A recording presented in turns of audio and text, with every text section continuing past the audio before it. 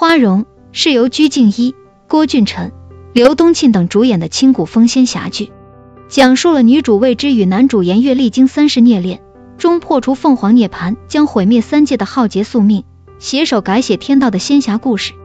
花荣即将收官，在最新剧情中，魔尊木南下线，天帝杀入魔界，为了铲除凤凰未知，真是心狠手辣，连亲儿子都不放过。未知再次爆发了凤凰力量。最终两败俱伤，三人重伤昏迷不醒，未知陷入了沉睡。天地被冰封，阎罗当了新天地。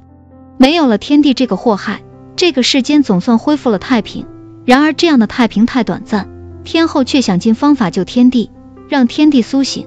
然而天地苏醒并不是什么好事，再次给三界带来了灾难。天帝还想着斩杀凤凰，为自己续命。然而天地苏醒，修炼了禁术。因此用禁术控制了颜悦，让颜悦再次斩杀凤凰，为之涅槃成神。两人相爱相杀的宿命重新上演。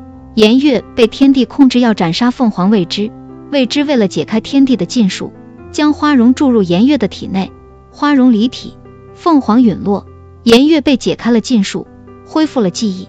未知灰飞烟灭，颜悦再次痛失所爱。然而阿牙最终为了救未知而牺牲。阿雅本是颜月用药玉所化，里面有未知的一丝精魄。最后阿雅为了成全颜月和未知，唤醒了体内未知的精魄，未知复活，阿雅也因此灰飞烟灭。总而言之，天帝这个大反派真是坏得太执着，万年来一直都想除掉凤凰，还打着为三界苍生的幌子，干着灭绝人性、残害无辜的事情。天帝真是坏事做绝，不过他的结局也是没有好下场的。最终被未知和颜月联手消灭。